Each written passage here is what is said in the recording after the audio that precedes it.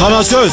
Millet İttifakı iktidarında beni özgürce ve korkmadan eleştirebileceksin. Eleştirdiğin için asla ve asla başına bir iş gelmeyecek. Sana söz 85 milyonun cumhurbaşkanı olacağım. Sana söz